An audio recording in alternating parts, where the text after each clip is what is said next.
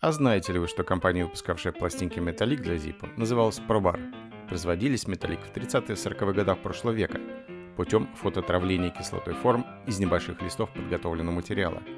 Некоторые из самых известных эмблем были созданы именно художественным отделом ProBar. Такие модели, как Drunk или Scotty Dog, были созданы художницей Максин Маркс из ProBar. Для крепления пластины корпуса зажигалки компания ProBar разработала специальный двухкомпонентный клей – Первая часть была нанесена на тыльную сторону накладки.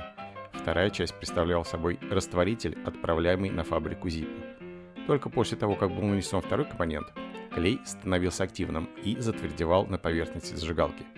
Затем художники Zip уже вручную раскрашивали нужные области логотипа или рисунка на наклеенной эмблеме. С началом Второй мировой войны компания была вынуждена полностью остановить свое производство.